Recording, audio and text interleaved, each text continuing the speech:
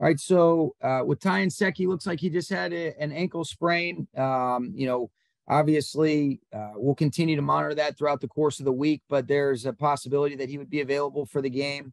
Um, A'Shawn Robinson, we're still looking at, um, you know, his knee, but it, it doesn't look good.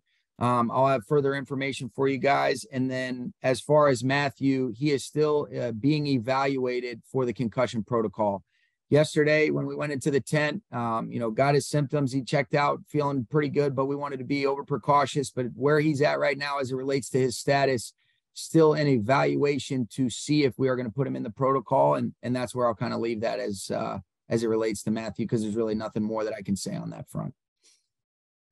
Dennis?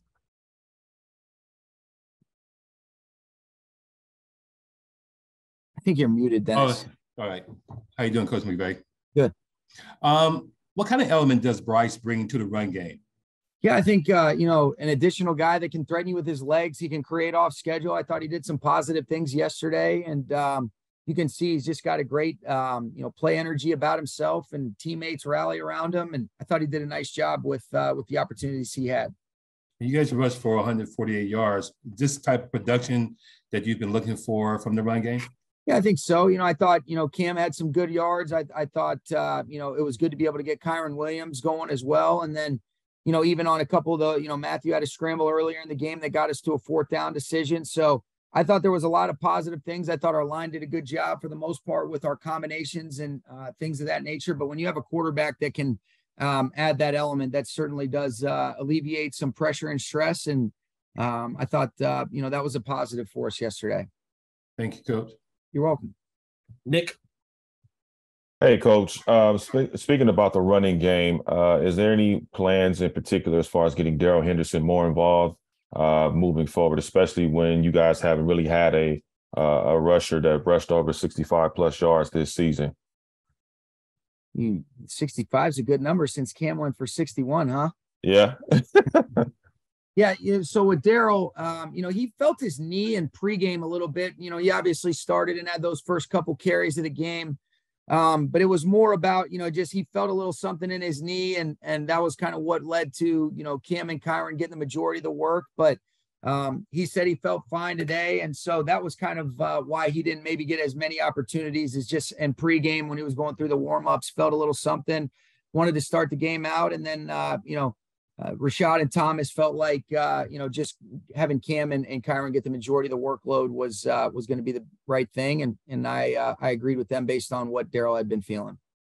And obviously, it's never a good thing to not have Cooper Kupp available, but be able to spread the ball around even more. Whether it's Ben Skowronek, having Van Jefferson out there, and, and other you know pieces to that that particular wide receiver corps. Um, how much does that help as far as being able to be more um, diverse when it comes to being able to spread the ball out and getting those yards. Yeah, I thought it was good to get guys opportunities. I thought it was great for Tutu to be able to make the play that he made. You know, you get Brandon Powell there. You get, you know, like you mentioned with Ben, I thought Allen made the plays, and then it was good to be able to get Van going as well. Um, particularly, you know, with a couple catches he made in that two minute drive at the end of the first half, and then Allen obviously closing it out with a touchdown. But no, that that that was a positive. There were some positive steps that that you could take away um, in spite of uh, you know the result yesterday. Thank you, Coach. You're welcome, Gary. Gary, you're on mute. Of course, it wouldn't be a wouldn't be a season without that. Um, John, with with Matthew still being evaluated, um, I mean, how optimistic are you with the second time in three weeks that that he's going to be available this week. Yeah, I, I think you you want to be really careful with that. Um, like I said, what what I want to be able to do, Gary, is is wait until I get all the necessary information. But my tone and and uh, and tune hasn't changed in the least bit. That it's going to be about the person, um, you know, first and foremost. And so, if there are things from this, then obviously, um, you know, we're going to be, you know, totally in alignment with all those things uh, as far as the medical advice and Matthew and Kelly and all that kind of stuff. So um, you can't be too careful with this stuff. So we'll wait and see exactly what the uh, actual diagnosis is, and then uh, I'll be able to have further updates for you then.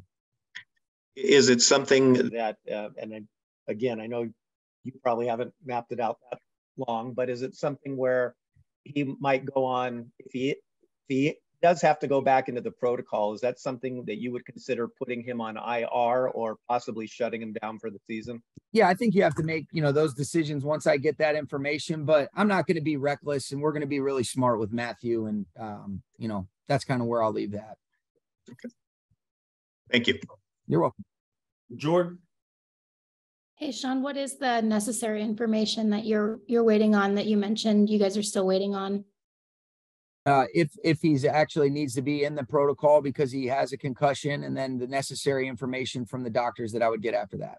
Okay, and that's something that, excuse me, that's, that's something that you are uh, saying you, you'd like to be briefed on this time. I know you mentioned last, uh, the last time this happened, um, you weren't necessarily, uh, you hadn't necessarily been informed whether he had one or not. It was semant, it was semantical things in regards to when you put somebody in the pr- protocol, then you're saying that they have a concussion. And so, you know, how they go through all those different steps because of some of the information that out of privacy, you know, for just the, you know, the, the overall, whether it's HIPAA or medical things, you know, that, that's kind of just where kind of want to just give that, that information and, um, and that was kind of when I had answered that question to you prior. Um, it was semantical and I was giving you everything that I had known up to that point, and I've continued to be a little bit more educated on the entirety of this process uh, as it relates to Matthew and just the big picture in general. Yeah, and to that point, Sean, um, are there any other um, circumstances? I know you guys know and have been um, doing work on the nature of uh, what this type of injury and what um, symptomatic things could be, and and the player safety and all of that. Um, but are there other extenuating circumstances that are also involved? You mentioned having conversations with um, with him and and sort of his input on and in, in terms of you know where your team is at right now as well.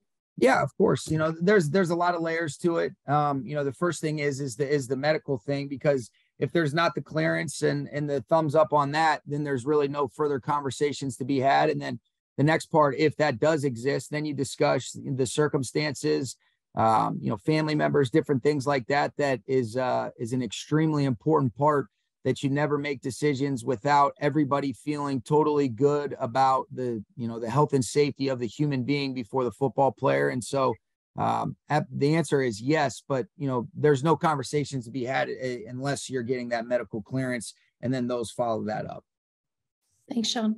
you're welcome Claudia. Hi, Sean.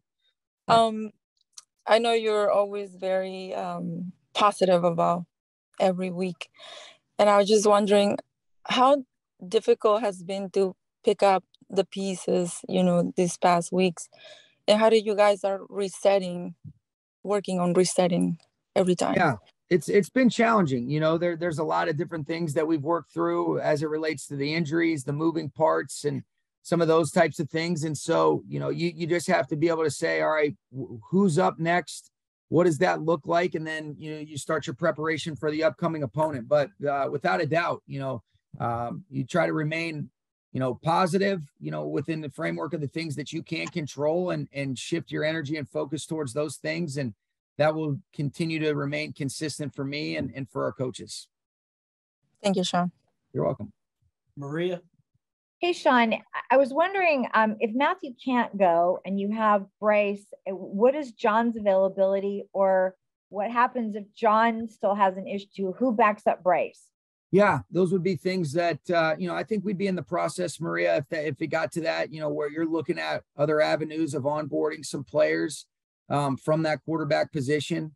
Whether or not that means that they would be up and active um, against the Chiefs, depending upon if you go with two or you know Matthew's availability is is something that you know really you know Les and I were were discussing as um, you know potential contingency plans, and so I'd probably be better equipped to answer that once I get a little bit more information on Matthew. And um, but but those are things that we're kind of working on in the background if that opportunity um, you know comes about. How is John? He's doing okay. You know, his he's he's he'd be limited. You know, he still is having some soreness in his neck, and so what that means in terms of his ability to be able to play the position and do all the things that he's capable of will be something that we'll evaluate over these next couple days. And so, um, but he's he's trending in the right direction. But the but the neck thing is real. Thank you. You're welcome. Gary.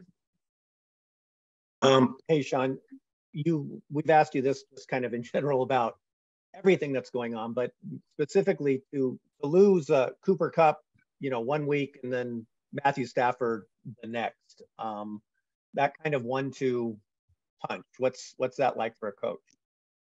a one-two punch. That's what it's like, you know, right in the gut. No, it's it's tough. I mean, it, those guys are really, you know, the foundational parts of of how you kind of have it built, and so, you know, you continue to learn about the things that that we've kind of done over the last handful of years, and guys are competing to the best of their ability, and then sometimes a, a part of this game is out of your control where where injuries do occur, and that's the sickest part about it because of the amount of work that goes in for these guys and how much they want to continue to be out there with their teammates, but um, that's a part of it. And uh, challenging, yes, but you know what can you do about it other than continue to move forward, similar to what Claudia's question was, and you want to be there and support those guys. And then when you know when they're able to be around their support for their teammates and kind of being an extension of the coaching staff, as you will, is is very valuable. But when those guys aren't out on the field, um, you're never replacing two players like that. And then I, I don't know if you guys were in the air or, you know, if you were able to see the end of the uh, Chargers Chiefs game. But I was curious if you saw that, um, you know, what you thought of Patrick Mahomes and what that kind of challenge that's going to be for you guys, given the state of your roster and just kind of uh, your one loss record going in going into that game at Kansas City. Sure. Yeah, it's a challenge no matter what type of situation or scenario that that we've been in over the last handful of years because of the caliber of the team. Um, you know, they're really they're a great football team. I, I did see the end of that game. I thought that was two really uh, excellent teams going at it, but for them to be able to go down, you know, with the Chargers taking the lead, and then for Mahomes to go right down the field and uh, in the fashion that they did was was incredibly impressive. And then for their defense to be able to close it out with a turnover uh, speaks volumes to the complete team that they have. And um, you know, Mahomes, Kelce, really them offensively, they are uh, they are unbelievable. Coach Reid and Bieniemy do an excellent job, and they're as good as it gets. Thank you. You're welcome. We'll wrap up with you, Jordan. Sean, a little bit more big picture, um, just on the on the defense in general. Um, overall this year, I know you know minus maybe a couple of outliers. Overall this year, um, the group's been stopping the run really well, and um, as you've talked about a lot, Raheem's talked about a lot. Capping the explosives has always been a factor. Um, again, minus some outliers in recent weeks.